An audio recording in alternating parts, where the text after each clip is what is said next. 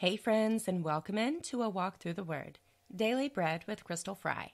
I am your host, Crystal Freie, and in today's episode, we're wrapping up our five day look at Psalm 139 with verses 17 through 24 and a simple request to search us and know our hearts. Thank you for being here with me today, and I pray that you will listen with an open heart to hear the Word of God speaking to you. All right, friends. Let's dive in. God's Word is powerful. The missing link is our identity in Christ.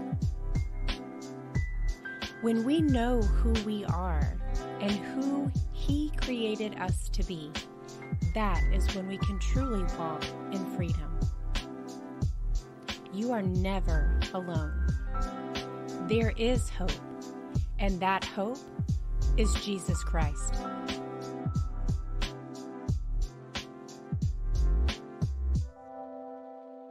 Today we're looking at Psalm 139, verses 17 through 24, which read How precious to me are your thoughts, O God! How vast is the sum of them! Were I to count them, they would outnumber the grains of sand. When I awake, I am still with you. If only you would slay the wicked, O God. Away from me, you bloodthirsty men. They speak of you with evil intent. Your adversaries misuse your name. Do I not hate those who hate you, O Lord, and abhor those who rise up against you? I have nothing but hatred for them. I count them my enemies. Search me, O God, and know my heart. Test me and know my anxious thoughts. See if there is any offensive way in me, and lead me in the way everlasting.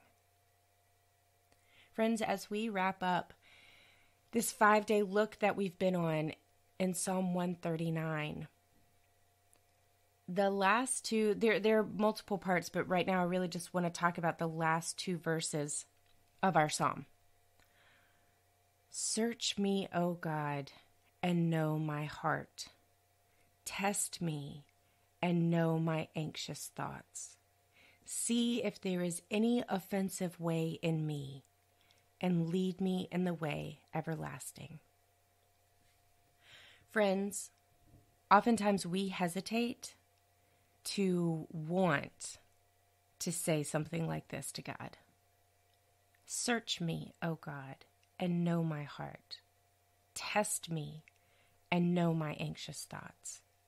See if there is any offensive way in me, and lead me in the way everlasting. And friends, as always, I am speaking from my own personal experience and sharing with you because this was a big struggle point for me. And I believe that it is a struggle point for a lot of others, even those of us who really want to walk in the way everlasting, right? Who really want to to oh goodness, who really desire to be in alignment with God's will for our life, who really desire to walk out the purpose that he created us for. Sometimes this right here can be a bit of a stumbling block for us because we are afraid to invite Him in to clean out some of that yuck that really needs to be cleaned out. And there are a lot of different reasons for that, depending on what your particular brand of yuck is. there can be um, certainly guilt involved in it, shame involved in it. There can be a whole slew of, I want to call them negative emotions. And I know that that's not always a popular way to describe emotions because emotions simply are, right? But there can just be a lot of difficulty tied into opening up and allowing God to search your heart, to know your anxious thoughts, to see if there is any offensive way in you. and to allow Him to clear that out.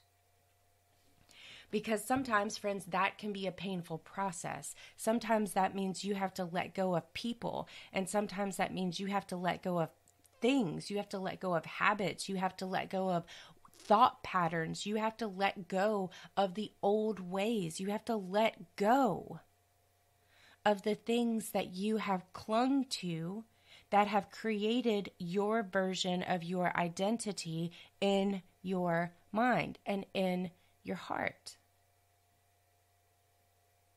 But, friends, oftentimes those ways are not the ways that we are to be walking. Oftentimes, those are the offensive ways. And we have to not only open ourselves up and allow God to clean that out, but then we have to begin walking in a new way. I heard somewhere, I don't remember if it was on a movie or a YouTube video. I have no idea where I heard this, but it was something to the effect of change is easy, transition is difficult. The decision to make change is simply that it is the decision. Once it's made, it's made. It's a decision, it's done. That's the change. This is what needs to be done. However, to actually see that change come to fruition, we must undergo a transformation. There must be a transition. There must be transformation. There must actually be a change in behavior, in thoughts, in patterns, so that we can have the change in outcome that we decided we wanted. And sometimes, friends, that can be the most difficult thing because we don't want to relinquish control we want to hold on to the control. And so I'm going to come back to that in just a minute, but to support, I want to go back up to the beginning of our passage for today. As David is is exclaiming, How precious to me are your thoughts, O God! How vast is the sum of them! Were I to count them, they would outnumber the grains of sand. When I awake, I am still with you.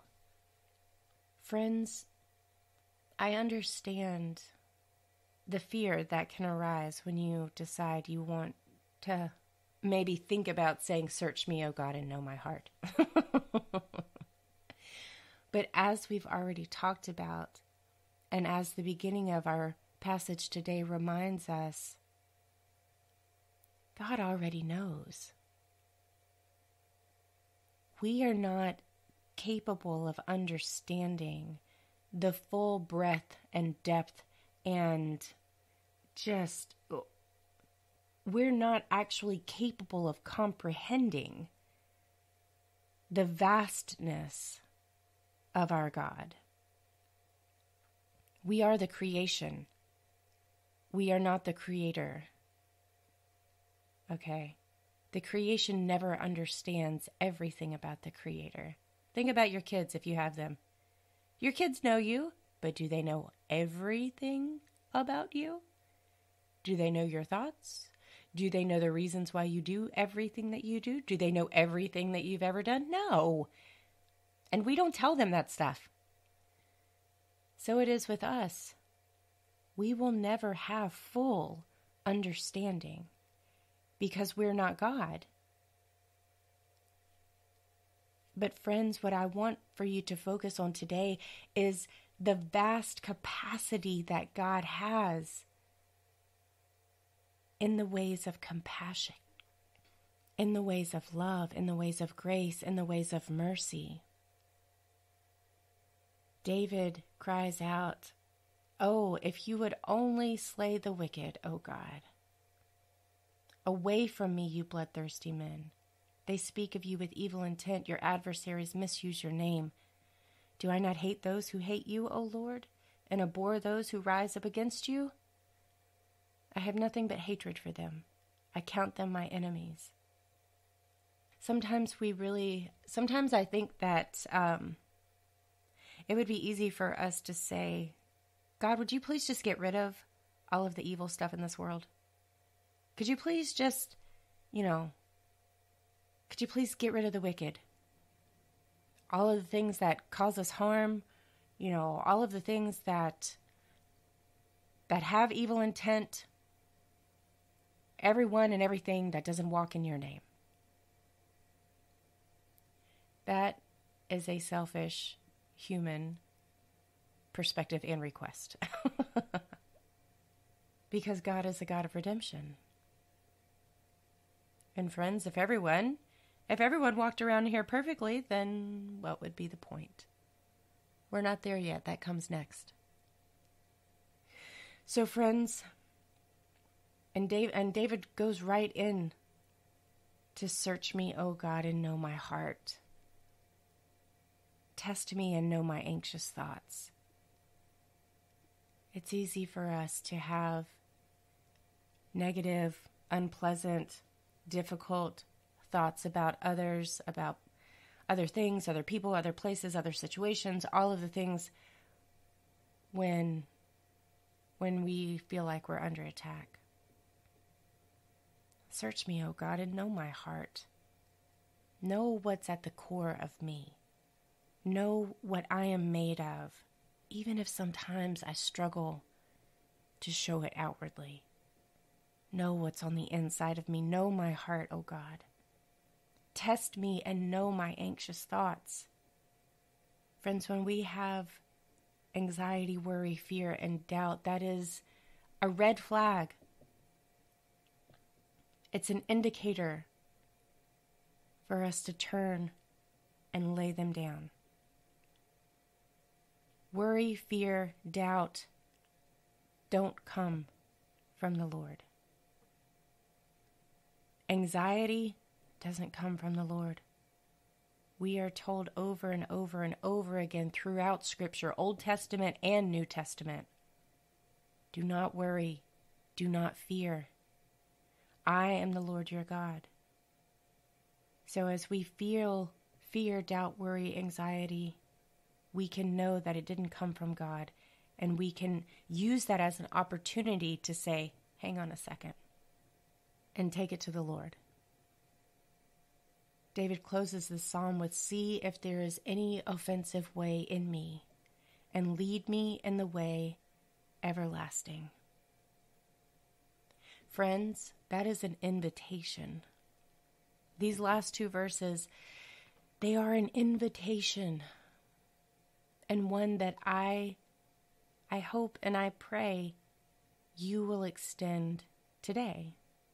And every day really. This is something that we should be in the in the habit of doing is asking God to search us, to know us, to test us, to see if there is any offensive way in us.